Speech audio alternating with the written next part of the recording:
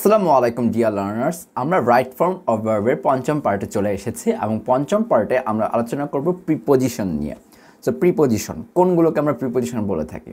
আমরা প্রিপোজিশন সম্পর্কে অনেক ভালো জানি তবু আমরা এক নজর দেখে নিই প্রিপোজিশন কোনগুলো।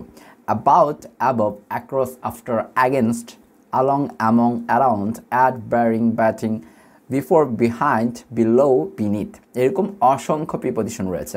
সো এক নজর সবগুলো প্রিপোজিশন আমরা একটু চোখ বলিয়ে নিই। সো এই ধরনের প্রিপোজিশন আমরা নর্মালি একটা সেন্টেন্সে দেখতে পারি। এর বাইরেও আরও প্রিপোজিশন রয়েছে। সো আপনাকে একটা ধারণা দেওয়ার জন্যই মূলত সবগুলো প্রিপোজিশন একসাথে দেখানো। সো দ্যাটস ইট সো এখন প্রিপোজিশনের ভূমিকা কী বা প্রিপোজিশন থাকলে আমার একটা সেন্টেন্সে ভার্বের মধ্যে কী ধরনের পরিবর্তন আসে, সেটাই আমাদের জানার বিষয়। সো তার জন্য আমাকে কী করতে হবে? আমাকে কিছু রুলস সম্পর্কে জানতে হবে। সো আমরা রুলস এইট পর্যন্ত করেছি পার্ট ফোরে অ্যান্ড আমরা পার্ট ফাইভে নাইন থেকে রুলস শুরু করছি। সো নাইন নম্বর রুলস সেটা কি? টু নামক প্রিপোজিশনটার পরে, অর্থাৎ প্রিপোজিশন যেটা টু সেটার পরে সবসময় ভার্বের বেস ফর্ম বসে থাকে। সো টু প্রিপোজিশনের পরে সব সময় ভার্বের বেস ফর্ম বসে থাকে।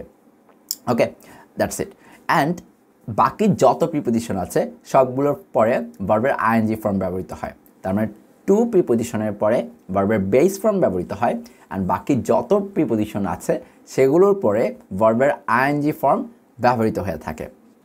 ওকে আরেকটা আছে being having get to be এগুলোর পরে। বিং হ্যাভিং গেট এখানে টু বি কিন্তু টু বি ভার্ব বোঝাচ্ছে না, এটা টু বিকেই ইন্ডিকেট করছে। So being having get to be এগুলোর পরে ভার্বের পাস্ট পার্টিসিপল ফর্ম হয়ে থাকে। সো বিং হ্যাভিং গেট আর টু বি এই চারটা জিনিসের পরে ভার্বের পাস্ট পার্টিসিপল ফর্ম হয়ে থাকে।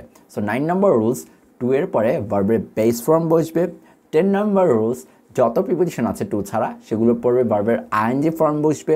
And eleven number rules being having get R to be এরপরে অলওয়েজ ভার্বের পাস্ট পার্টিসিপল ফর্ম ব্যবহৃত হবে।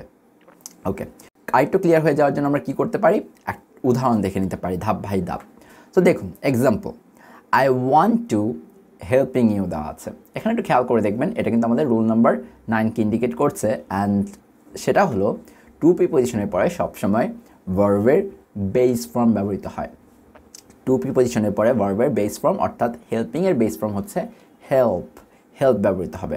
I want to help you I want to help you that's it okay next example he knew how to convinced me এখানে convinced দেওয়া আছে but আমরা কিন্তু জানি যে টু এর পরে ভার্বের বেস ফর্ম ব্যবহৃত হবে। তার মানে এখানে হবে he knew how to convince me কনভিনসডের base form হচ্ছে convince convince okay okay now the next one এটা খুবই মজার। সেটা হচ্ছে টু বি ব্র্যাকেটে দেওয়া আছে educate and is to be respect এখন কোনটা বসাবো? দেখুন, আমি একটু আগে আপনাকে বলেছি। টু বি বিং হ্যাভিং এগুলোর পরে অলওয়েজ ভার্বের পাঁচ পার্টিসিপল ফর্ম ব্যবহৃত হয়। এখানে টু বি দেওয়া আছে, তারপরে এই যে ভার্বটা আছে এডুকেটেড যে ভার্বটা আছে, সেটা পাঁচ পার্টিসিপল ফর্ম ব্যবহৃত হবে। তেমন মানে হবে টু বি এডুকেটেড ইজ আবার টু বি দেওয়া আছে, তাহলে এরপরে আবার ভার্বের পাঁচ পার্টিসিপল ফর্ম ব্যবহৃত হবে। তাহলে হবে কি? Respected so to be educated is to be respected that's it অনেক কঠিন একটা জিনিস, খুব সহজে হয়ে গেল না। দ্যাটস ইট আপনার যদি রুলসটা মনে থাকে, তাহলে ইজিলি আপনি এই ধরনের জিনিসগুলো ধরে ফেলতে পারেন। নেক্সট এক্সাম্পল নেক্সট এক্সাম্পল আমরা দেখতে পারি যে উইদাউট তারপরে দেওয়া আছে ভার্ব ইজ তারপরে দেওয়া আছে এডুকেট অ্যান্ড তারপরে দেওয়া আছে ইউ কান্ট থিঙ্ক অফ তারপর হচ্ছে ওয়াজ এবং রেসপেক্ট এখন খেয়াল করে দেখুন উইদাউটও কিন্তু একটা প্রিপোজিশন অ্যান্ড প্রিপোজিশনের পরে ভার্বের আইএনজি ফর্ম ব্যবহৃত হয়ে থাকে। অ্যান্ড যে কোনো অক্সিলারি ভার্বের আইএনজি ফর্ম হচ্ছে আপনার being B E I N G I N G being. So উইদাউটের পরে যে অক্সিলারি ভার্ব ইজ আছে, সে জায়গায় আমরা লিখতে পারি বিং। কারণ কি প্রিপোজিশনের পরে ভার্বের আইএনজি ফর্ম ব্যবহৃত হয়ে থাকে। সো উইদাউট বিং আচ্ছা এডুকেটেডের কী করব? এডুকেট আমরা রুল নাম্বার ইলেভেনে ব্যবহার করতে পারি। কীভাবে? রুল নাম্বার ইলেভেনটা হচ্ছে বিংয়ের পরে বিই আইএনজি এই বিংয়ের পরে সবসময় আমার ভার্বের পাস্ট পার্টিসিপল ফর্ম ব্যবহৃত হয়। তাহলে উইদাউট বসালাম, তারপরে বিং বসিয়েছি, এই বিংয়ের পর আবার এডুকেটেড পাস্ট পার্টিসিপল ফর্ম ব্যবহৃত হবে। শেষ। এখন আরেকটা আছে you can't think of of কি? টু ব্যতীত অন্য প্রিপোজিশনগুলোর মধ্যে অফ পড়ে, তাহলে অফের পরে আমার হবে বিং কারণ ওটাও একটা অক্সিলারি ভার্ব যে কোনো অক্সিলারি ভার্বের যে বেস ফর্ম যে আমার আইএনজি ফর্ম সেটা হচ্ছে বিং তাহলে কি হবে? থিঙ্ক অফ বিং আর যেহেতু বিং বসিয়েছে, আমি রেসপেক্টের সাথে ইডি যোগ করতে পারব। That's it so without being educated you can't think of being respected without being educated you can't think of being respected okay very good অনেক কঠিন একটা জিনিস কিন্তু সহজে আমরা পেরে যাচ্ছি। এরপর আসি।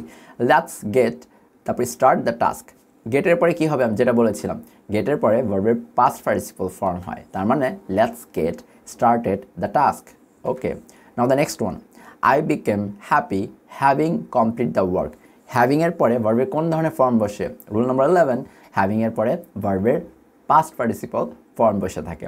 So I became happy having completed the work I became happy having completed the work এরপরে আছে, Sumi got A plus by studied hard এখানে বাই তার মানে কি? টু ব্যতীত অন্য প্রিপোজিশনগুলোর মধ্যে বাই রয়েছে, তার আমরা বলতে পারি স্টাডিটের জায়গায় আইএনজি যোগ হবে। অর্থাৎ হবে, Sumi got A plus by studying hard Sumi got A plus by studying hard তো আশা করছি এই জিনিসটা সবার ক্লিয়ার হয়ে গেছে খুবই গুরুত্বপূর্ণ ছিল আজকের এই আলোচনাটা। আজকের এই পার্ট নম্বর ফাইভটা সো আপনি যদি ইজিলি বুঝে যেতে পারেন সো আশা করছি আপনার এই ধরনের ঝামেলাগুলো আর হবে না এবং কখন আপনি বিং বসাবেন, কখন আপনি ভাবে পাস পার্টিসিপাল ফর্ম বসাবেন, এটা পুরোপুরি ক্লিয়ার হয়ে যেতে পেরেছেন সো পার্ট ফাইভের ক্লাসগুলো করার জন্য আপনাকে অসংখ্য ধন্যবাদ। অ্যান্ড পার্ট সিক্স থেকে ক্লাস করার জন্য আমন্ত্রণ জানিয়ে আজকের ভিডিওটা এখানে শেষ করছি। সবাই ভালো থাকবেন, সুস্থ থাকবেন। আসসালামু আলাইকুম।